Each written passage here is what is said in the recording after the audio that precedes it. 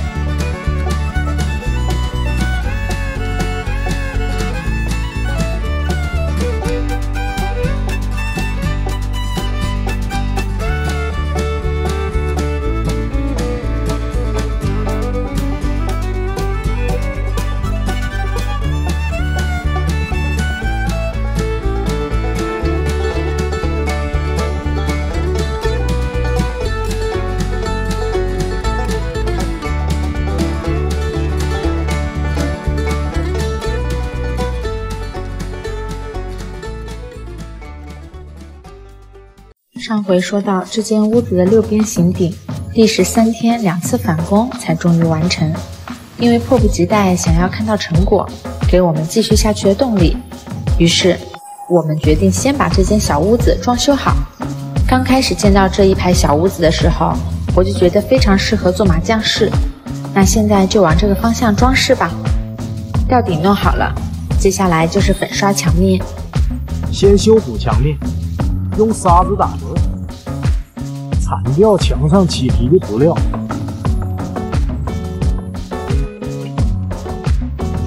铲完之后用水泥抹，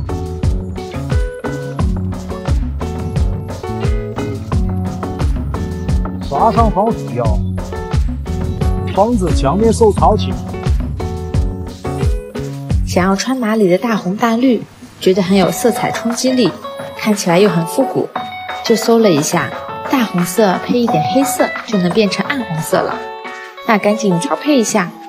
可想而知，失败了，调出了粉紫色，但也意外的好看。咱也不浪费了，有啥用啥吧。怎么样干的有模有样吧？刷一遍好像盖不住，那就多刷几遍吧。这面墙下边还要砌花坛，我就偷了个懒，下边就没刷。后来想想。为了给你们呈现完美的样子，我还是把下面刷上吧。快快夸夸我呀！开心的唱起了歌。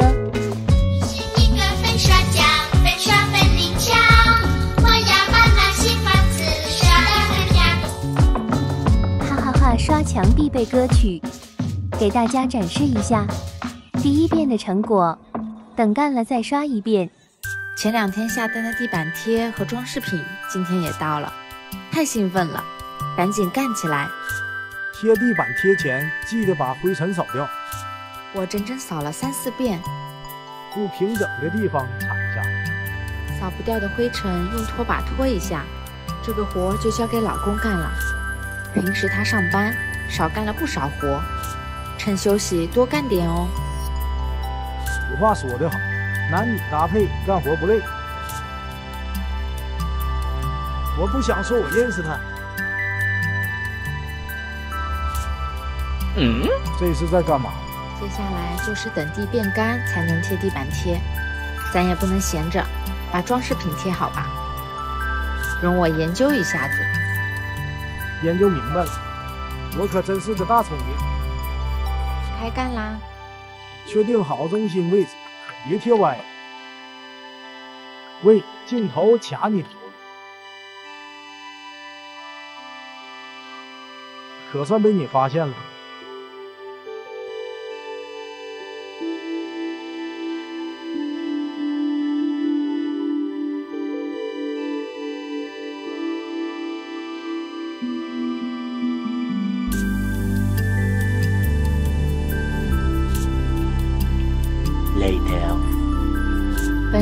昨天就能把地板贴起来，没想到地一直不干，只好把装饰品先贴上了。今天来小院第一件事就是跑过去看水泥地干没干。这下你满意了？终于可以贴地板了，让小屋变化最大的一步来了。等下就让你们累成狗。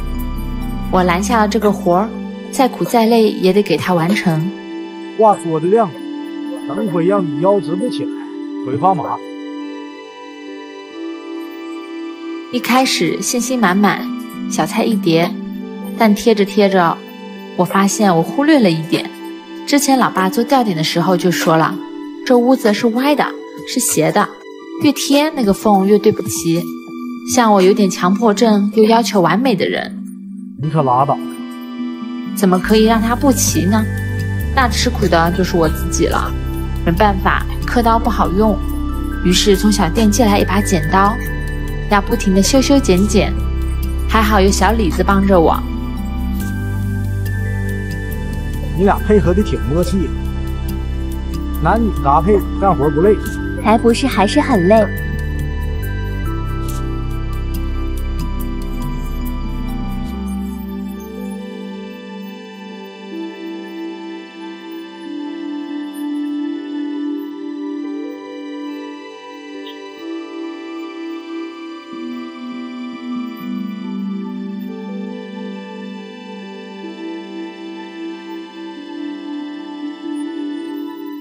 贴到最后，我俩满手黢黑，腰也挺不直了，但总算大功告成，满意。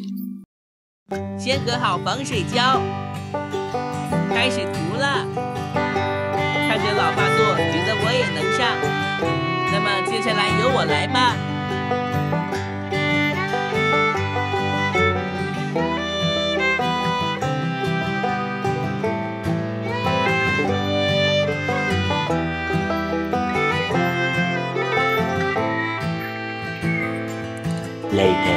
防水涂好了，开始打腻子。这活我是干不了了，老爸加油，你是最棒的。上面的腻子昨天劈好了，今天只要劈下半部分就好。等待腻子干，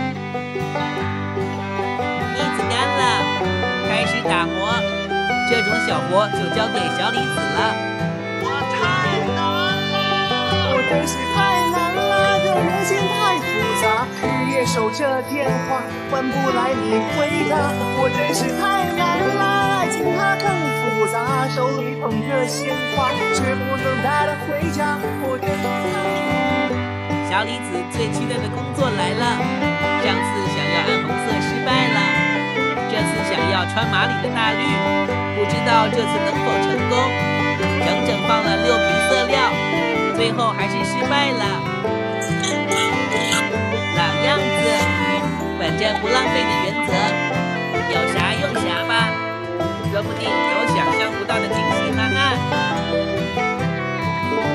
你们觉得这个颜色怎么样？没有太难看吧？别忘了关注我，一起期待一下之后的改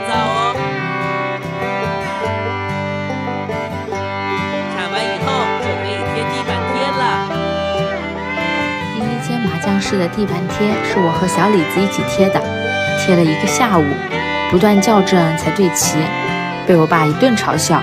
说是他贴的话，一个小时不到就能贴完，而且一点都不歪。哎呦，我这被打击的。那好，您老贴吧，我给您打下手。看老爸贴真的是又快又好，我也学到了技巧，分享给各位小伙伴。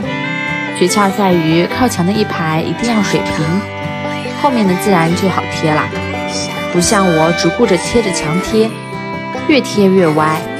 后面的要修剪才能对齐，所以你们贴了将近三个小时。看来姜还是老的辣，经验丰富还是最有用的。所以最后你们猜，老爸用了多长时间？多动动脑子啊，年轻人！果真不到一个小时，五十五分钟他就搞定了。地板贴贴好了，把墙上的装饰画也贴上吧。贴上这些，麻将馆的感觉立马就出来了吧？给你们看看改造后的样子。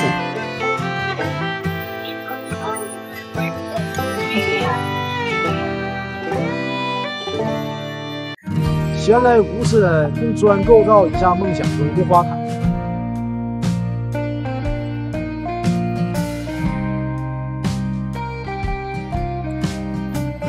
注意，解说家马上上线。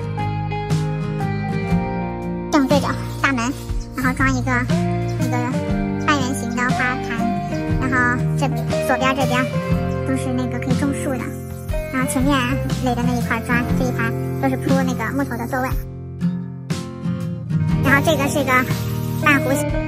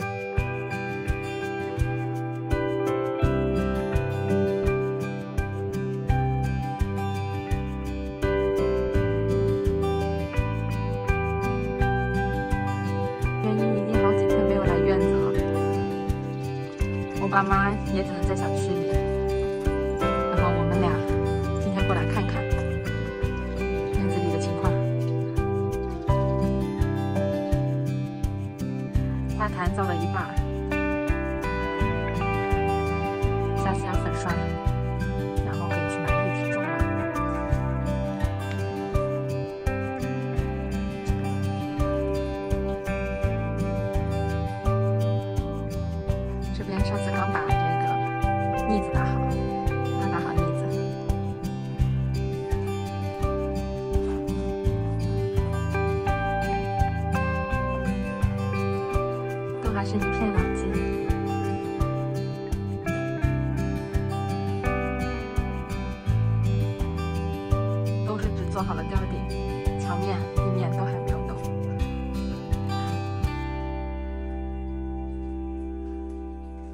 了疫情，真的好难。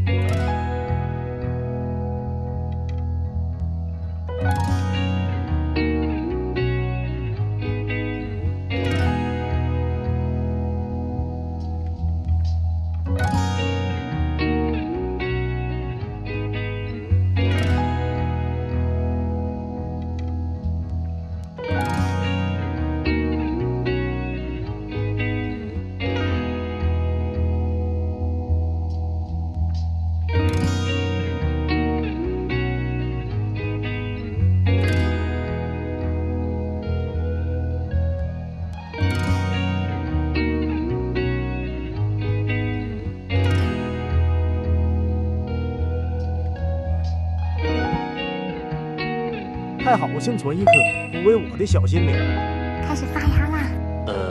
话不多说，开干！看着老爸在干，在铺后土好几天没干活，累不累啊，老爸？可以，还可以呀、技术还没忘。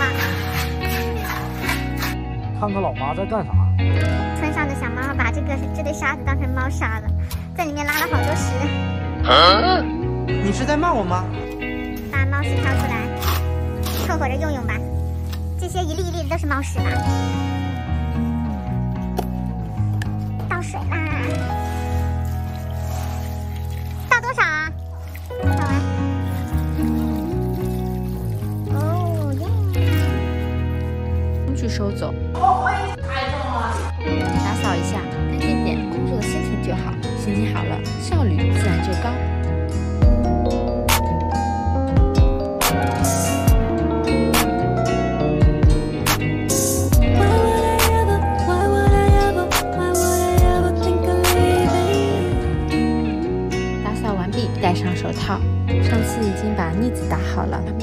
不平整，我们打磨一下。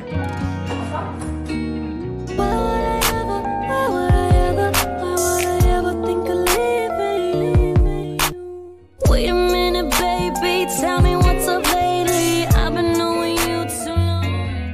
这个灰一片一片的落下，全部打磨好了。接下去就是刷涂料啦。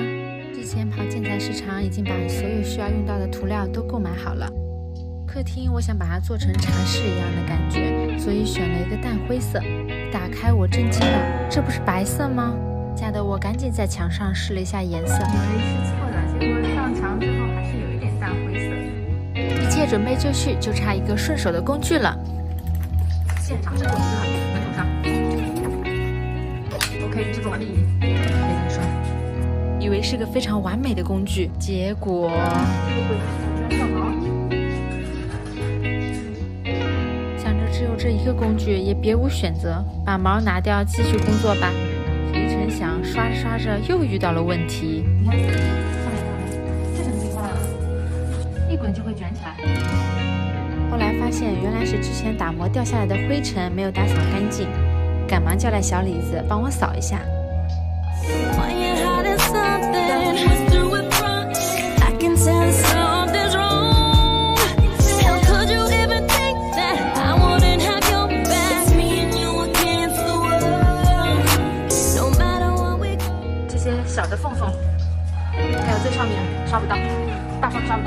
就让小李子来出马，用小刷子来刷一下吧。就让小李子在那边忙活吧，我要把窗户改一下颜色。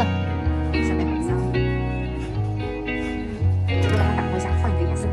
但是没有打磨机，只好用这个砂纸打磨一下。打磨好了，贴下胶带，防止刷漆的时候刷到墙上。再把窗户上的灰尘扫一下。这是我在网上买的木漆，比想象中颜色要深，没准涂上去会好看吧。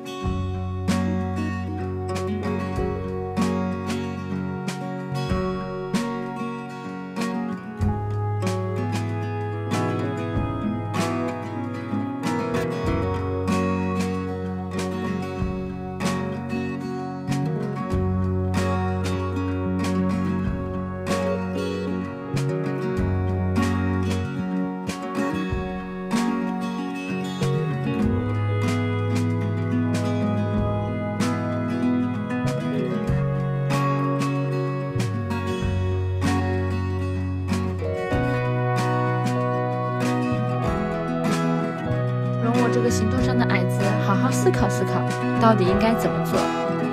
一拍脑门想到了，每个桩子不一样高，那我就用木板先找平，然后再放上横向的木板，座椅不就完成了吗？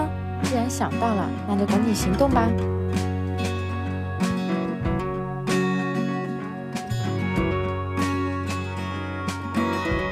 哎，音乐停，这不对呀、根本打不进去。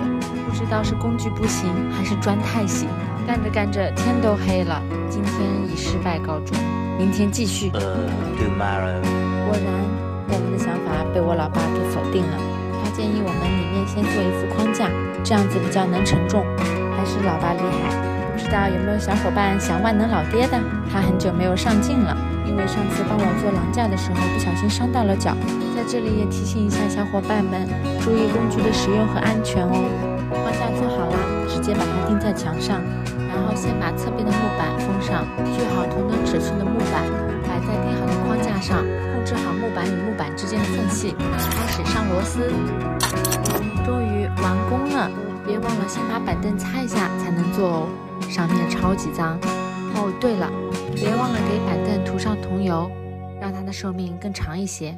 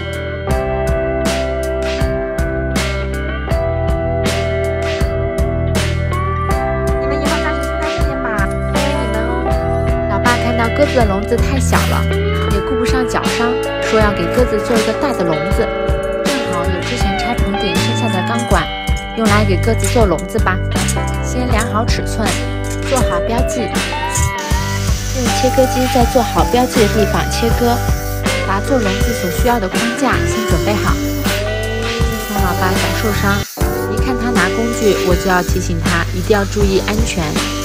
友友们也要注意工具的使用和安全哦。拿准备好的框架材料，用电焊焊起来，这样框架就做好啦。然后在六个面上都铺上铁网，老样子，拿出焊接设备，把铁网和框架焊牢就可以了。鸽子笼完工啦，把鸽子们放进去，它们终于有一个舒服的家了。现在要把这几扇小门也改造一下，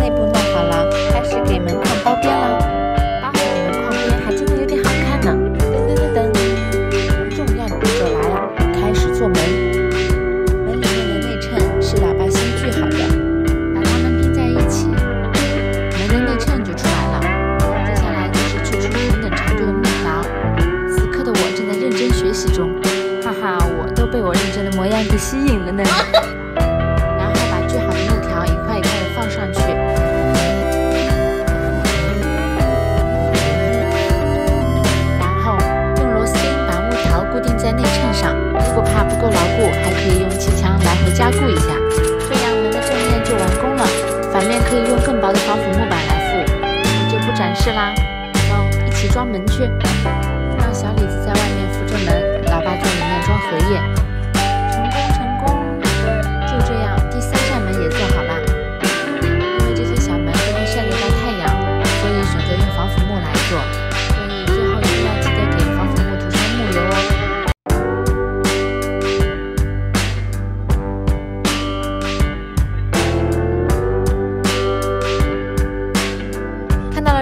这样的多肉架，太好看了！开搞，先量一下尺寸。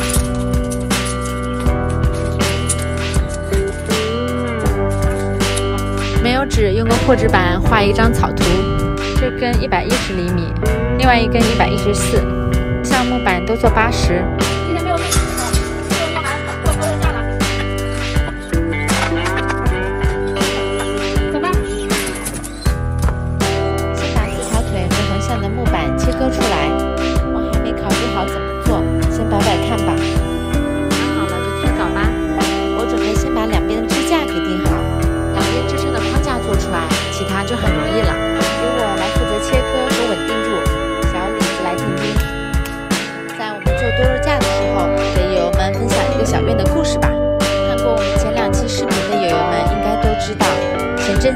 婆家拆迁，我们收养了外婆养的母狗以及三只刚出生不久的小奶狗。母狗的名字叫 Lily，下面就用这个名字来代替。于是我们就把它们接到了院子里生活。可是没想到，第二天莉莉回去找外婆了，就从这个大门底下钻出去的。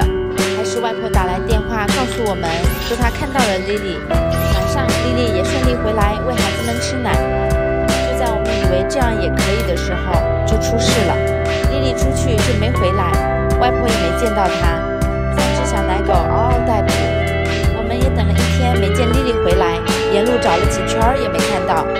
猜测或许是出了什么意外，让她即使知道家里有三只小奶狗在等着她，却还回不来吧。外婆怕我们养不活还在喝奶的小狗，即使不方便养，还是来接回去了。但是狗狗太可爱了，我也舍不得。看我很不舍得的样子，偷偷拿了一只回来。以后我们也是有小奶狗的人了，我们给它取名小颖，因为这套小院儿，我们以后会称之为小颖居。以后会多给你们看看可爱的小颖。如果你们喜欢小颖的故事，时不时我会与你们分享。哈哈，说了这么多，多肉架也做好了。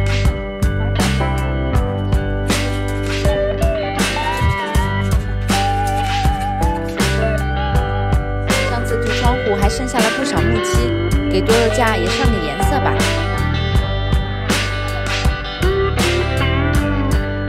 完工，成果展示，等待明天木漆干，放上我的小植物们。多肉架干啦，放一些小盆的植物。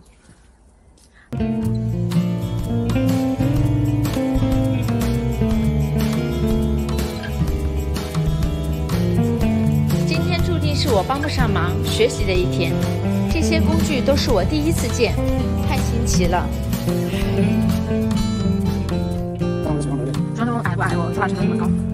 水管没有达到我要的高度，老爸只好返工，重新剪掉再接。临时接一个水龙头，先用着。终于要开始我最期待的环节了，开始垒洗手池。正好姨父今天休息，来帮老爸，他也不用孤军奋战了。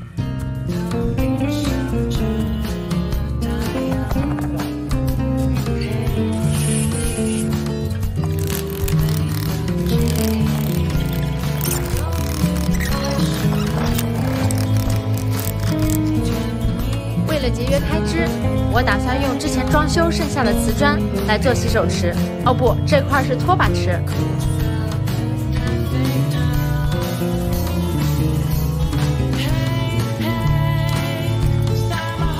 天气太热了，中途吃块西瓜，吃完继续干活啦。跟姨父两个人一起干就是快，大致的模样已经出来了。此刻老爸正在废物利用，把被当做踏步时的水泥板改成了洗手池的底部，续往上垒，因为我想要一个洗手池的背景墙。今天干到这，第二天继续未完成的工作，再铺上水泥，就先这样吧。明天把操作台完成。到此的花费是已经花了一百二十块做成了这样，接下来就是把操作台完成。老样子，还是本着节约的原则，正好有一些不用的铁管，就拿来锯一下做操作台吧。表面先糊一层厚厚的水泥，然后挂上网，再糊一层。现在那是绝对结实。猜猜看，现在在干嘛？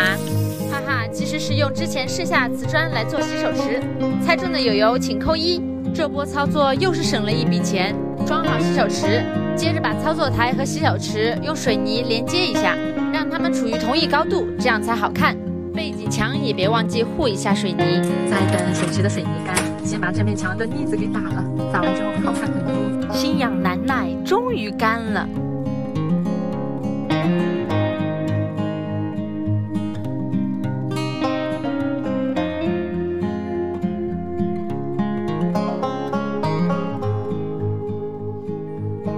咨询过后，决定用真石漆。喷涂之前记得用美纹纸贴一下，否则不该弄到的地方弄到了，处理起来会很麻烦。真石漆实在太厚了，小李子非要兑水，咱也不知道这样做对不对，让它自由发挥去吧。开喷。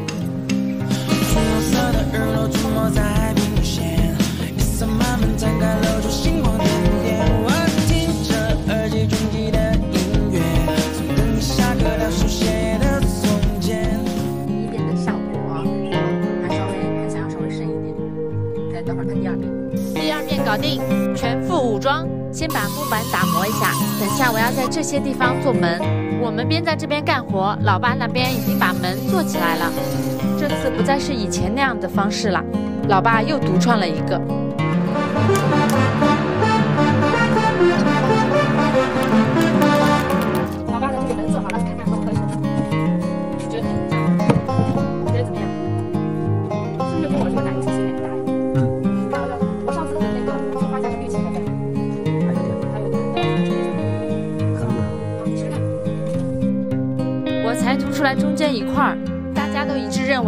更搭。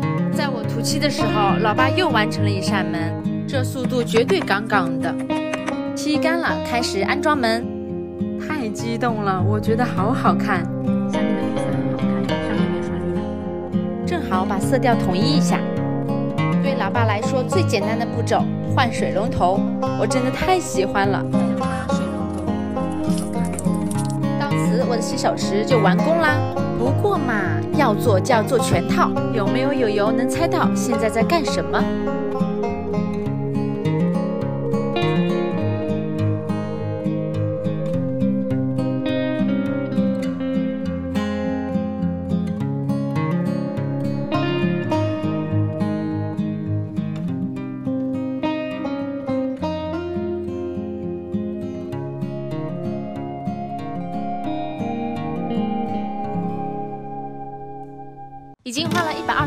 做成了这样，接下来就是把操作台完成。老样子，还是本着节约的原则，正好有一些不用的铁管，就拿来锯一下做操作台吧。表面先糊一层厚厚的水泥，然后挂上网，再糊一层。现在那是绝对结实。猜猜看，现在在干嘛？哈哈，其实是用之前剩下的瓷砖来做洗手池。猜中的友友请扣一。这波操作又是省了一笔钱。装好洗手池，接着把操作台和洗手池用水泥连接一下，让它们处于同一高度，这样才好看。背景墙也别忘记护一下水泥。再等水池的水泥干，先把这面墙的腻子给打了，打完之后好看很多。心痒难耐，终于干了，开始打腻子啦。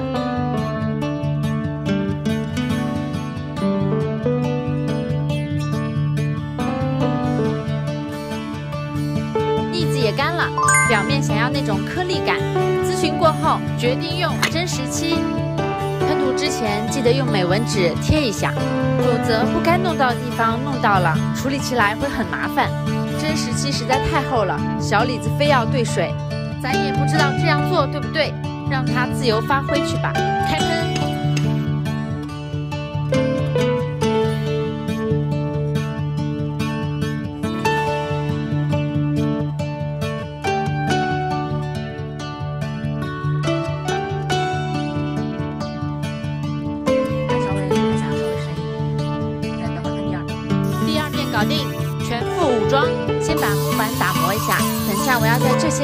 后门。我们边在这边干活，老爸那边已经把门做起来了。这次不再是以前那样的方式了，老爸又独创了一个。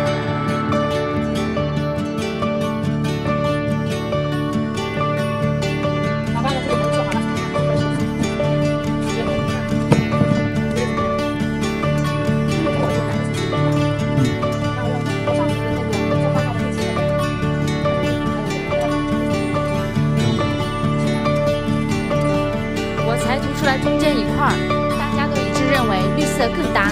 在我涂漆的时候，老爸又完成了一扇门，这速度绝对杠杠的。漆干了，开始安装门。太激动了，我觉得好好看。